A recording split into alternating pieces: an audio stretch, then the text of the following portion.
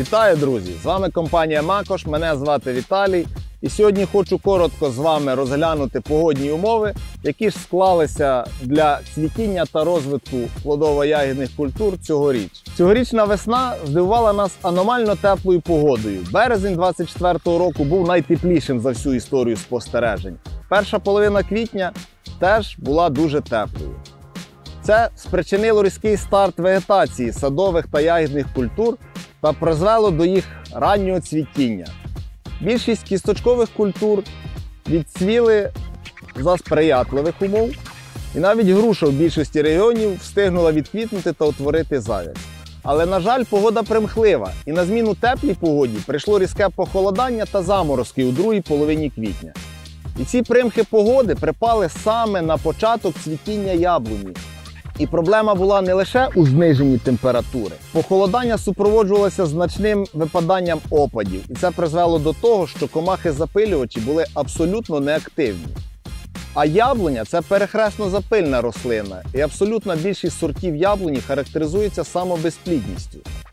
Утворення плодів відбувається лише внаслідок запилення квітки за умови, що в запиленні і заплідненні бере пилок з іншого сорту, тобто пилок сорту запилювача.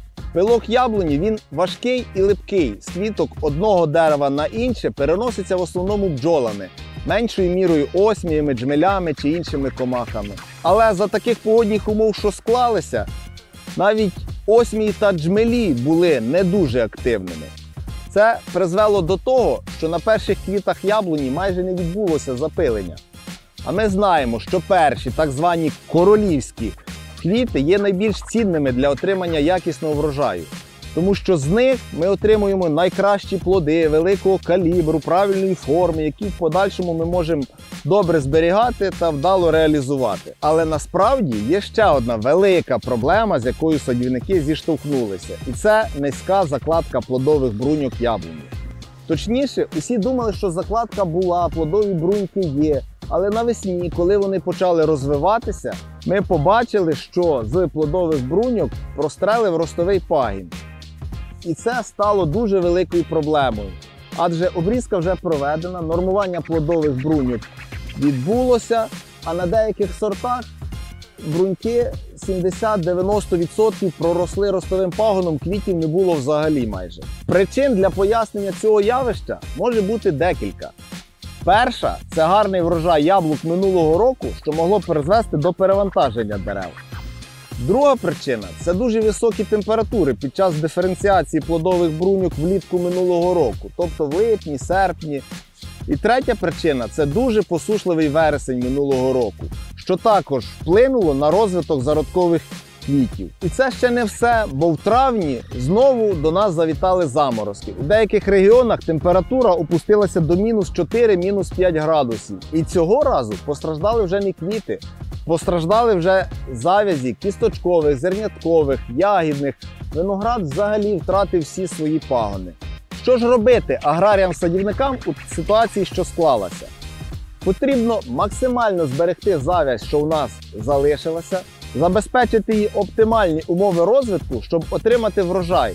Для цього слід забезпечити якісний захист насаджень від шкідників, хвороб, відповідний режим зрошення, звісно, за його наявності, та збалансувати живлення рослин як кореневе, так і листове. Важливим елементом для розвитку плодів буде калій, адже для отримання виповнених та смачних плодів від нього буде залежати дуже багато. Його варто вносити як в ґрунт за допомогою зрошення, так і по листу за допомогою оприскувань.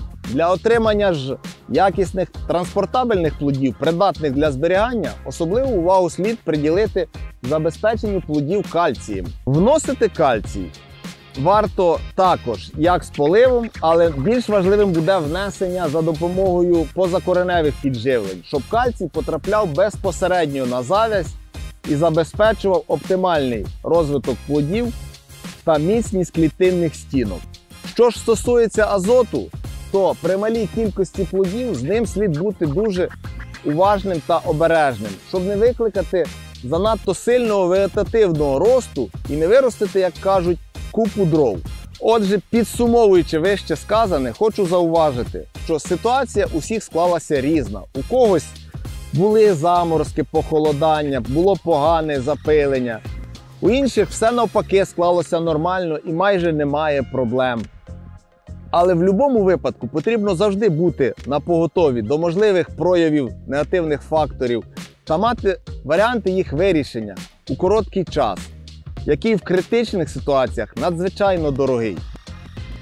Ситуація цього року ще раз підтверджує народну приказку: вік живи, вік учись. Тому розуміння ситуації та вміння вирішувати складні питання допоможе зберегти та примножити ваш врожай.